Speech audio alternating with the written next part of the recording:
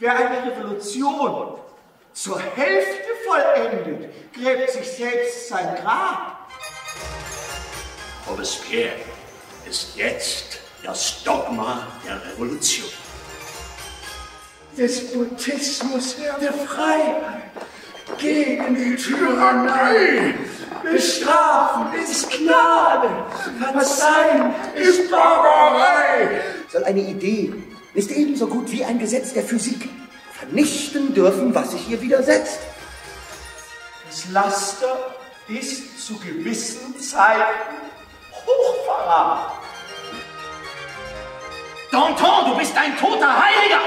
Aber die Revolution kennt keine Reliquien. Glaubst du, man würde dich als Monument stehen lassen?